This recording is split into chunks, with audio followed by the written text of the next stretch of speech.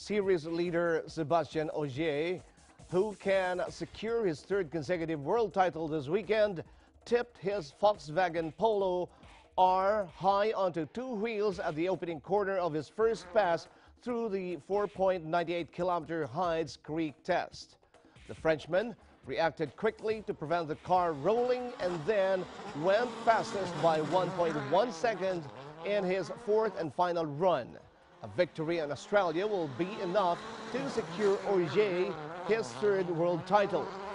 Teammate Andreas Mikkelsen was second, having been fastest until Ogier's final run, and Jari Matti completed a 1-2-3 for Volkswagen, a further half second behind.